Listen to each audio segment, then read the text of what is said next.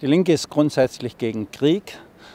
Krieg kann nicht mit Krieg bekämpft werden, Gewalt kann nicht mit Gewalt bekämpft werden. Wir sind absolut gegen einen Militäreinsatz des Westens gegen Syrien. Wir sind der Auffassung, die syrische Zivilbevölkerung, die unendlich unter diesem Bürgerkrieg leidet, braucht keine Soldaten und keine Bomben. Sie brauchen Ärzte, Medikamente und Lebensmittel. Die Linke wird alles dafür tun, dass es nicht zu diesem Krieg kommt. Wir werden auch zusammen mit der Friedensbewegung auf die Straße gehen gegen einen bevorstehenden Militäreinsatz in Syrien.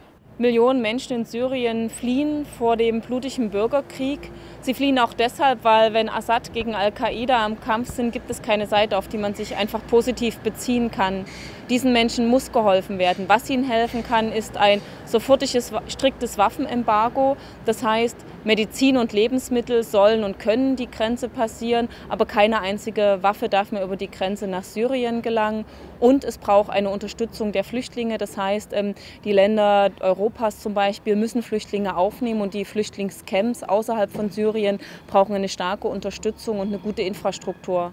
Was diesen Menschen auf keinen Fall hilft, ist, wenn jetzt auch noch der Westen eingreift, das würde den blutigen Bürgerkrieg nur noch verschärfen.